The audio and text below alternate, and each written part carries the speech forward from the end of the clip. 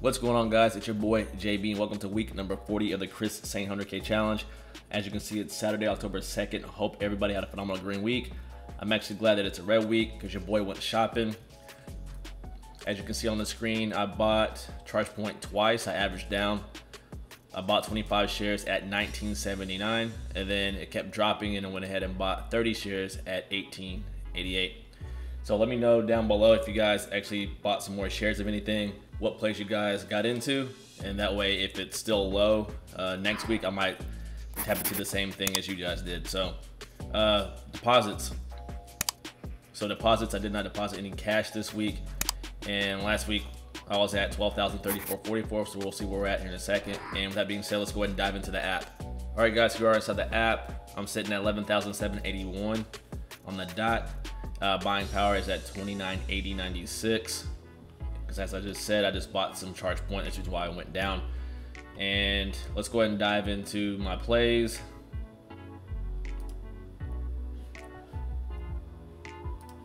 So charge point for the week, down a little bit above 3%.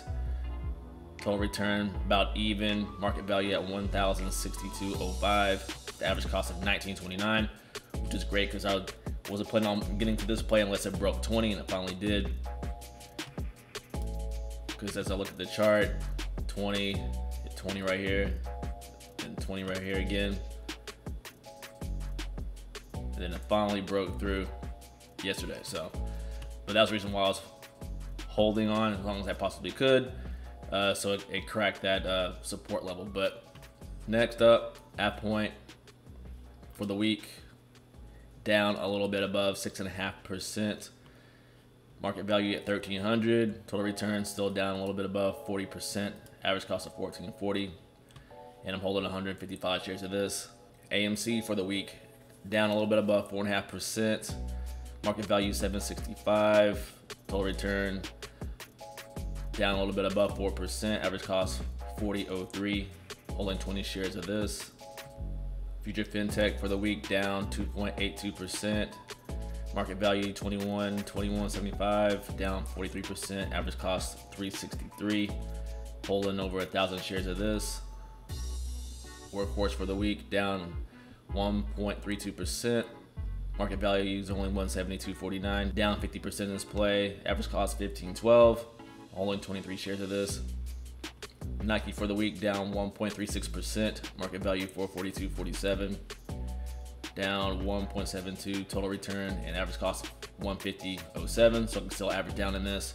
Hopefully it turns red next week. That way I can buy more shares of this. And only have three so far. Apple for the week down about 2% market value 17 14 24 up about 3% average cost 138.46 and I'm only holding 12 shares of this now going into my dividend plays, Crestwood Equity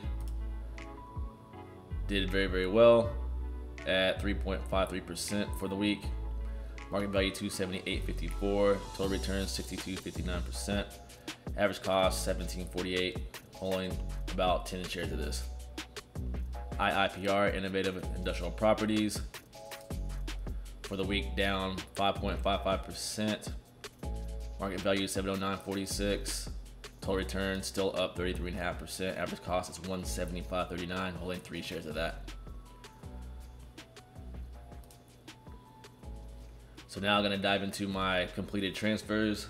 So yeah, guys, my completed transfers. My last one still September 20th. I may or may not put 500 next week, just depending on how that market goes. If it turns red again next week, I will buy some more. Um, hopefully, either DraftKings if it dips at 44 or um, some more Nike, like I said earlier. So um, if you made this far in the video, give your boy that thumbs up on the way out, and I will see you in the next one. Peace.